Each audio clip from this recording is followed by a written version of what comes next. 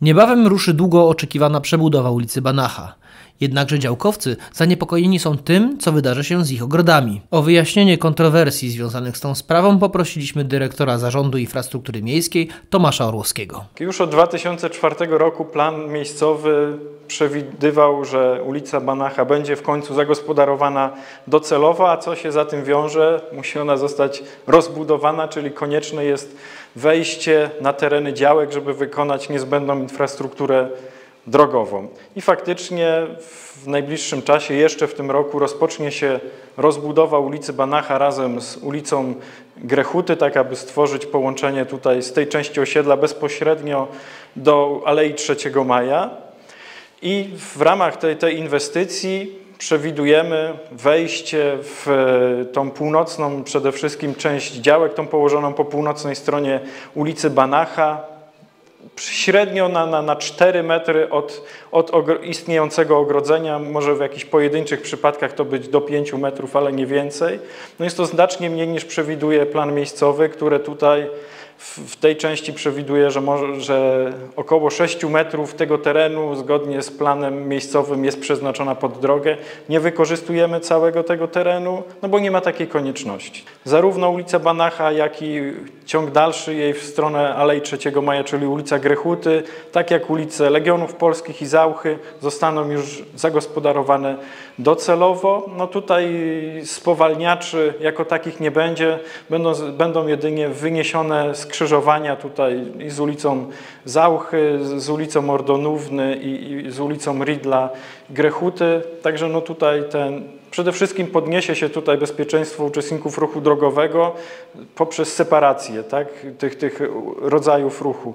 Pieszy będzie mógł korzystać z chodnika, rowerzysta z ciągu pieszo-rowerowego, pojazdy będą na jezdni. No w tej chwili ulica Banacha no jest, jest, jest ruch na niej spowolniony poprzez szykany, z uwagi na to, że w tej chwili cały ten ruch musi się zmieścić na 4,5 metrach jezdni z płyt betonowych, natomiast po przebudowie potoki ruchu będą odseparowane, więc nie będzie potrzeby stosowania szykan, progów spowalniających. Wśród działkowców pojawiają się również obawy, czy zmniejszenie powierzchni działek nie wpłynie na zmianę ich funkcji i nie stracą one statusu ogródka działkowego. Jeśli ta działka nie będzie już spełniała jakichś minimalnych wymogów odnośnie areału i będzie, no ten działkowiec nie będzie już mógł na niej, na niej prowadzić no, no, no, tej swojej aktywności najczęściej rekreacyjnej, no to wtedy odszkodowanie jest przyznawane za całą działkę. Jeśli, jeśli ta działka będzie mogła być nadal wykorzystywana, no to odszkodowanie będzie przyznawane na podstawie operatu szacunkowego sporządzonego przez rzeczoznawcę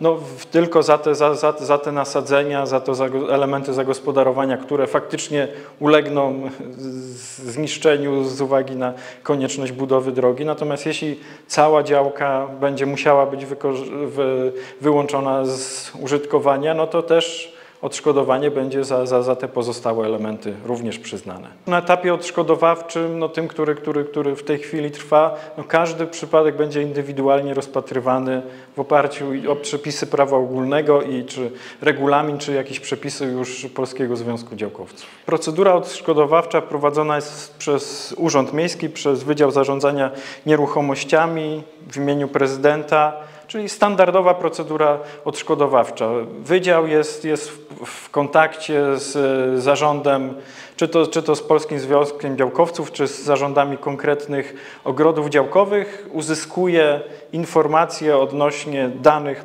personalnych y, osób, które użytkują poszczególne działki.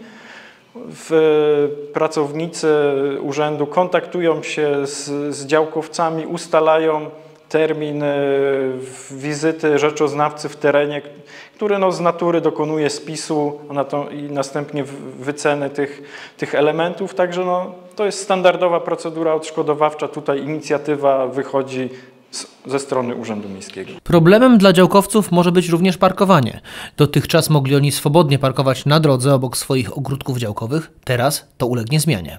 Przy ulicy Zauchy, bezpośrednio sąsiadującej z ulicą Banacha, wykonano duży, na, na ponad 70 pojazdów, kompleks parkingów Także no, ta, część, ta część miasta jest, jest tak naprawdę no, w lepszej sytuacji niż, niż, niż, niż e, inne części miasta, gdzie przy, przy, przy nowo powstających drogach tych parkingów nie ma. Tutaj pojawiło się to już na etapie konsultacji społecznych. No i tutaj była, była reakcja miasta. Korzystając z tej szerokiej rezerwy terenowej przy ulicy Zauchy, powstał kompleks y, parkingów, no, które będą mogły być wykorzystywane przez działkowców. Realizacja tej inwestycji planowana jest na drugą połowę tego roku. Będziemy na bieżąco przyglądać się postępom i informować Państwa w kolejnych programach.